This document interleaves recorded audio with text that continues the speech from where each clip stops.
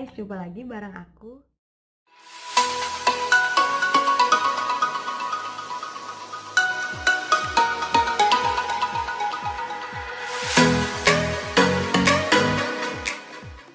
Ini aku mau buat cara mewarnai rambut sendiri.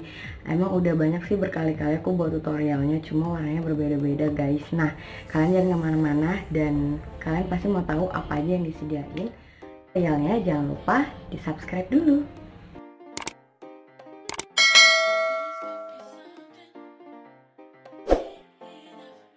dan follow Instagram aku di sini ya. Nah kalian bisa lihat sendiri rambut aku awalnya kayak gini. Ini karena pernah aku warnain marun sedikit, terus lama banget belum hilang-hilang. Terus ini bekas warna hijau atau biru gitu, sebelah sini biru, sebelah sini hijau. Terus lunturnya jadi kayak gini guys. Nah sekarang aku mau rubah warnanya yang bagian atas aja nih cara mewarnainya dan nanti berubah jadi warna apa kalian ke mana-mana ya tetap di sini itu tutorialnya kalian harus menyediakan jangan lupa ke warnanya. Yang kali ini aku pakai matrix. Dan ini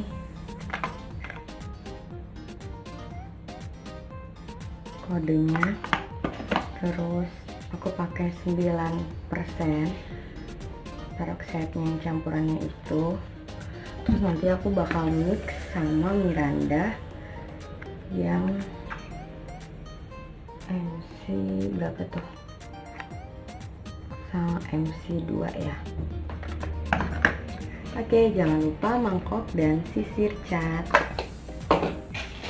dan sarung tangan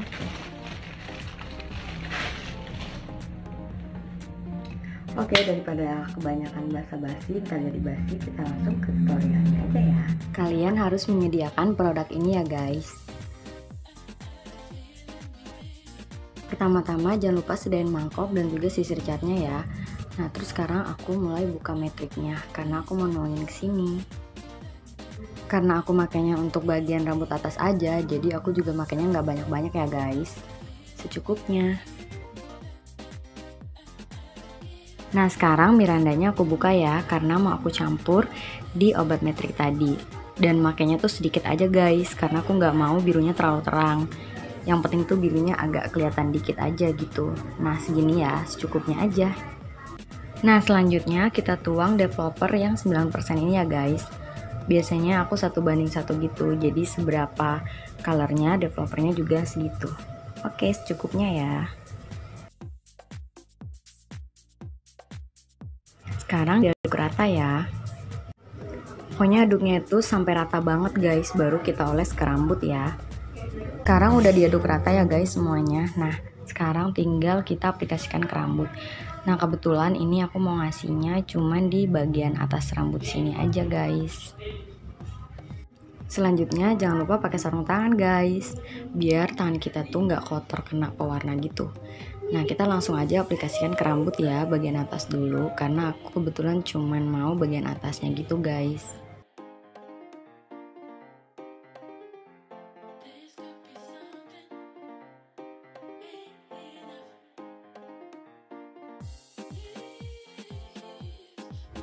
Aplikasikannya tuh sampai merata ya walaupun bagian atas aja tapi benar-benar semuanya harus kena gitu guys bagian atasnya.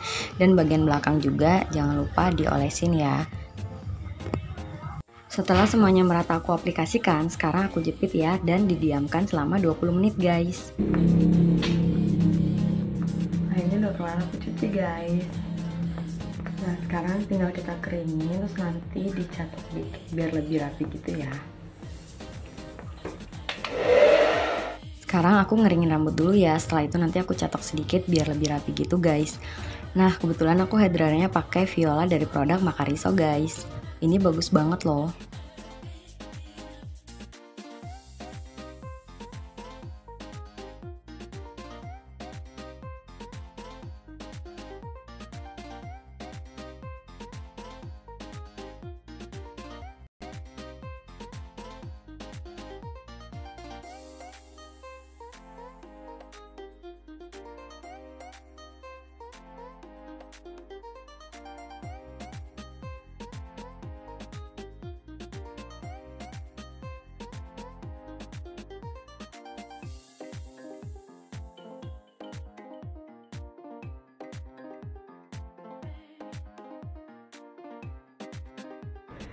Nah sekarang udah jadi rambutku guys.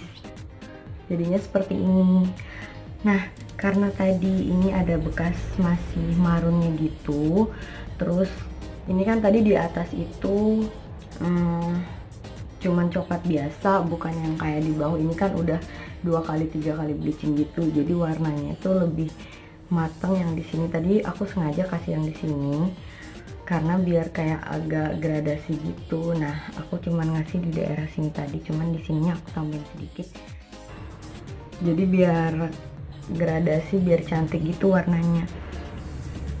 Nih jadi semua itu dari dasar rambut ya guys. Kalau memang rambutnya hitam atau apa tuh kalau rambut dasarnya warnanya kuning atau coklat jadinya tuh nggak mesti sama. Apalagi kalau hitam itu harus di bleaching dulu ya guys nih kalau ini tadi kan dasarnya coklat.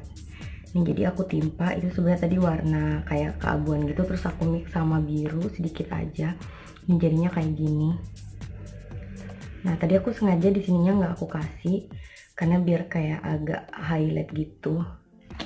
Terus di sininya juga jadi aku cuma ngasih di atasnya sini. Nah jadi jadinya kayak coklat-coklat agak abu gitu terus merahnya tuh belum terlalu bisa hilang ya guys. Kalau bekas marun warna marun gitu pasti agak susah gitu kecuali di bleaching ulang. Nah nggak terlalu susah kan guys? Nah buat kalian yang di rumah kalau malas ke salon bisa ikutin cara aku. Gampang dan murah pastinya. Nah, Oke okay guys, mungkin sekian dulu tutorial dari aku dan semoga video aku selalu bermanfaat buat kalian. Terima kasih buat kalian yang selalu stay di channel aku. Dan kalau kalian suka dengan video aku, jangan lupa di like. Yang belum subscribe, boleh subscribe. Dan jangan lupa di share ke semua sosial media kalian. Oke okay guys, dan sampai ketemu di video-video aku selanjutnya. Sampai jumpa.